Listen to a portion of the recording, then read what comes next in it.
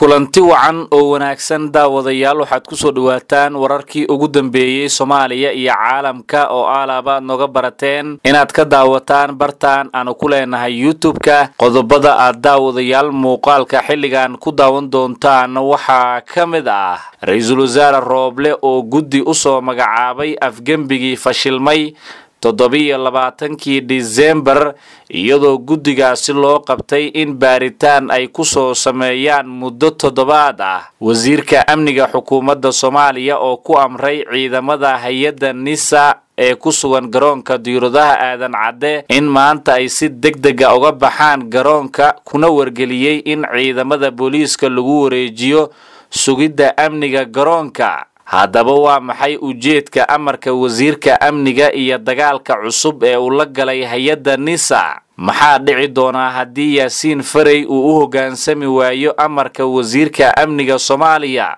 Dadaallo lagu heshiisiinayo saciid deni iyo ciidamada p s f ee taabacsan maxamuud diyaano oo weli ka socoto magaalooyinka boosaaso iyo garowe. Warbixinadii ugu dambeeyey dadaalada ay wadaan isimada iyo madaxdii hore ee puntland oo gaaray magaalada boosaaso ayaannu idiin soo gudbin doonaa madaxweyne lafta gareen oo muqdisho kula kulmay ra'iisul wasaarihii hore ee dalka xasan cali khayre iyo madax kale oo ka tirsan golaha midooda musharaxiinta mucaaradka qodobadaas iyo qaar kale oo faahfaahsan ayaa daawadayaal muuqaalka xilligan ku daawan doontaan. Haddii aad nagu cusub tahay nagu soo biir oo janalkan sabskribe saar si aad uga mid noqoto saaxiibada helo. Wararka aanu aalaaba halkan soo gelino. Aynu ku horreynay daawadayaal ra'iisul wasaaraha soomaaliya mudane maxamed xuseen rooble ayaa ku dhawaaqay guddi baaritaan ku soo sameeyo afgembigii fashilmay ee ka dhacay magaalada muqdisho toddobiyo labaatankii bishii disembar ee sanadii labada kun koob iyo labaatankii. Ra'iisul wasaaraha xukuumadda soomaaliya mudane maxamed xuseen rooble guddiga uu magacaabay oo ka kooban ilaa shan wasiir oo loo xilsaaray baaritaanka afgembigii isku dayay madaxweyne farmaajo ayaa u qabtay guddigaasi muddo toddobaad ah in shaqadooda ay ku soo dhammeeyaan ra'iisul wasaaraha ayaa go'aanka uu ku magacaabay guddigan waxa uu u cuskaday. Go'aan ay toddobaadkii tegay wadajir u gaareen golaha wasiirada. Qoraal ka soo baxay xafiiska rooble ayaa lagu yidhi iyadoo la fulinayo go'aankii golaha wasiirada ra'iisul wasaaraha xukuumadda federaalk soomaaliya mudane maxamed xuseen rooble waxa uu magacaabay guddi ka kooban shan wasiir kuwaasi oo baaris rasmi ah ku samayn doonaan. Dhacdadii toddobiyo labaatankii disembar la isku dayay in la afgembiyo xafiisyada ra'iisul wasaaraha iyo xukuumadda ayaa lagu yiri qoraalka ka soo baxay xafiiska rooble xubnaha wasiirada ah ee guddiga uu magacaabay ra'iisul wasaare rooble ayaa kala ah kow cabdilqaadir maxamed nuur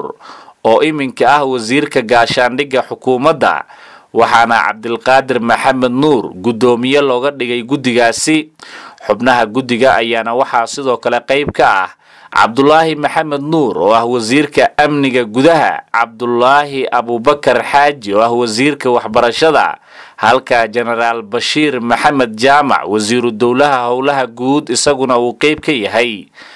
mas'uuliyiinta loo igmaday baarista kiiskaasi. Halka cabdilxakiin xasan ashkir oo ah wasiiru dowlaha xafiiska ra'iisul wasaaraha isaguna uu qeyb ka yahay guddigaasi loo xilsaaray howsha baarista dhacdadii toddobiyo labaatankii disembar ra'iisul wasaaraha ayaa faray xubnaha guddigan in baaristooda ay ku soo gebagabeeyaan muddo toddobaad ah ayaa lagu yiri qoraalka ka soo baxay. Xafiiska ra'iisul wasaare rooble dhinaca kale wasiirka amniga ee xukuumadda soomaaliya mudane cabdulaahi maxamed nuur ayaa soo saaray warqad uu agaasimaha nisa yaasiin farey ku amrayo in uu dhammaan ciidanka nisa ka soo saaro gudaha garoonka diiradaha aadan cadde ee magaalada muqdisho. Yaasiin farey ayaa warqadaasi lagu faray in mas'uuliyadda amniga garoonka qaybta ay ka hayeen ciidanka nisa uu ku wareejiyo taliska booliiska soomaaliya ee ka howlgalaan gudaha garoonka diiradaha aadan cadde. Wasiirka amniga ayaa qoraalkiisa ku sheegay in go'aankaasi la qaatay kadib markii ay ka dhaceen gudaha garoonka. Isku hallayn amni oo kalliftay daacayad amni oo ballaaran maadaama mas'uuliyadda amniga garoonka ay qaybsan tahay oo aysan ku jirin hal gacan oo keliya kadib markii ay bateen cabashooyinka ay soo gudbiyeen hay'adaha dowladda ee ka howlgalo gudaha garoonka aadan cadde ciidamada nisa oo ku kaca xadgudubyo isugu jiro gacanqaad iyo handadaado joogto ah lehna caddaymo buuxo waxaa la go'aamiyey lana farayaa in guud ahaan amniga garoonka uu la wareego ciidanka booliiska soomaaliyeed waxaana lagula xisaabtamayaa saldhigga garoonka ee booliiska oo keliya. Mas'uuliyadda amni ee garoonka wixii ka dambeeyo labada bishan janaayo oo maanta ku beegan ayaa lagu yidhi qoraalka wasiirka amniga. Wasiir cabdulaahi ayaa qoraalkaasi ku sheegay in la go'aamiyey in dib loo soo celiyo. Dhammaan taliska iyo ciidanka nisa ee ka howlgalo gudaha garoonka laga bilaabo maanta mana jiraan wax ciidan nisa ah oo ka howlgelayo amaba hub la geli karo gudaha garoonka. Marka laga reebo ciidamada ku sugan xarumaha rasmiga ee gudaha garoonka ay ku leeyihiin waran iyo gaashaan ciidamada la yidhaahdo ayaa lagu yidhi qoraalka wasiirka. Garoonka diyaaradaha ee aadan cadde ayaa waxaa ka howlgeli jiray ciidan nabad sugid dharcad ah waxaana ciidankan marka hore uu si toosa u xukumi jiray kaaliyihii agaasimaha hore ee nisa cabdulaahi kulane waxaana inta badan loo adeegsan jiray arrimo siyaasadeed iyo dadka in laga xanibo gudaha garoonka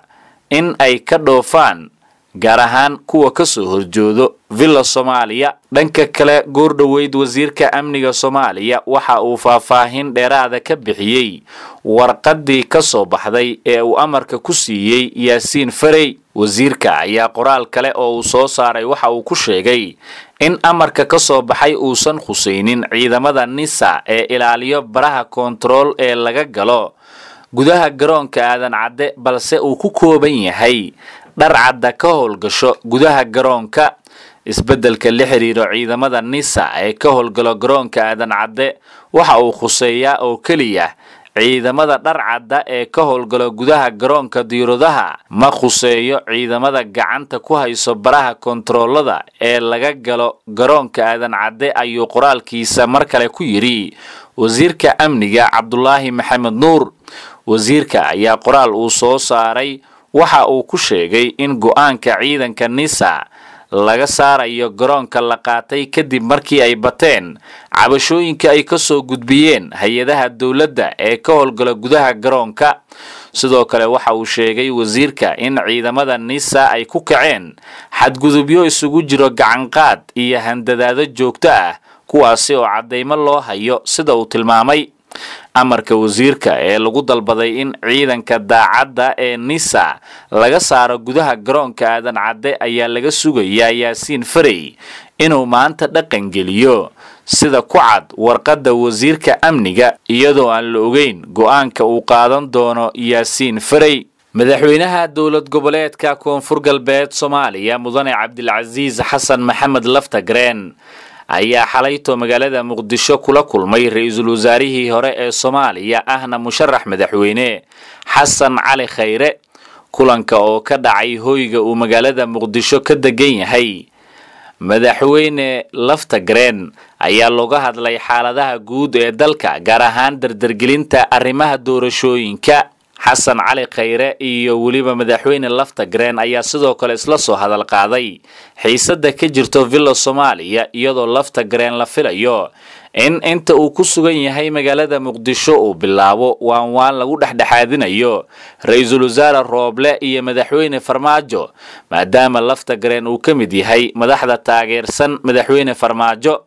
xasan cali kheyre ayaa sidoo kale waxa uu muqdisho kulan kula qaatay. Madaxweynaha hirshabeelle cali guudlaawe xuseen kheyre ayaana ka mid a musharaxiinta dadaalka ugu jiraan. Helitaanka hoggaanka sare ee waddanka waxaana uu kulamo la qaadanayaa madaxda dowlad goboleedyada ee u yimid inay ka qayb galaan shirka golaha wadatashiga qaranka ee uu cilaamiyey ra'iisul wasaare rooble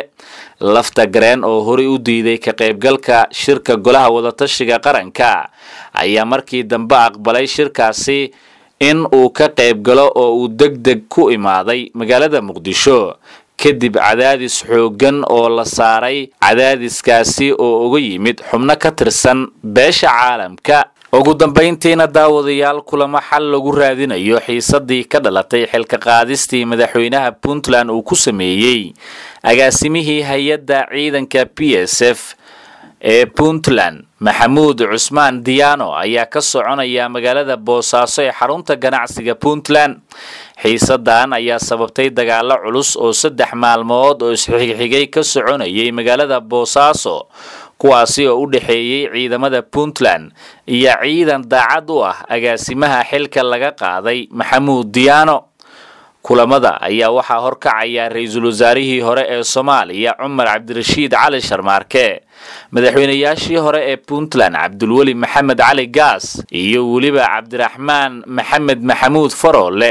waxaa sidoo kale qayb ka ah kulamadan xal raadinta isimada dhaqanka ee puntland mas'uuliyiinta ayaa kulan la qaatay asad cusmaan diyaano oo ah walaalka maxamuud diyaano horena u soo noqday agaasimaha p s f kaasi oo ay kala hadleen in si deg dega loo soo gebagabeeyo xiisadda iyo weliba in uu kala shaqeeyo xal u helista maadaama madaxweyne deni uu sheegay inay iyagu wakiil oga yihiin go'aanka waxaana ay u sheegeen asad diyaano inay aqbali doonaan wax kasta oo ay soo go'aamiyaan siyaasiyiintaasi iyo isimada puntland. Ilawareedyo lagu kalsoon yahay ayaa u sheegay janalkeenna in dadaalada isimada ay meel wanaagsan marayaan iyo in laga yaabo xal u helidda xiisadda ka dhalatay xilka qaadista agaasimaha p s f inay soo gebagabowdo maalmaha soo socdo hay'adda ciidanka p s f oo la aas-aasay sannadkii labada kun iyo labadii ayaa waxaa maalgelin jiray dowladda maraykanka oo sanad ka hor joojisay. Taageeradii ay siin jirtay p s f ayaana si dhow uga shaqeeya arrimaha la dagaalanka argagixisada waxaana haatan hay'adda hareereeyey khilaaf weyn iyadoo maraykanka sidoo kale mar uu soo farageliyana uu sheegay in laga doonayo ciidanka p s f iyo dowladda. Si deg dega inay ku soo gebagabeeyaan xiisadda ka dhalatay xilka qaadistii agaasimaha ciidankaasi maxamuud diyaano guud ahaan daawadayaal intaas ayaanu ku soo gebagabeynayaa muuqaalkan aad ku daawanayseen wararkii ugu dambeeyey soomaaliya iyo caalamka. Tan iyo intaanu daawadayaal dib ugu kulmi doona muuqaalo kale waxaanu iminka idinkaga tegaynaa sidaas iyo nabadgelyo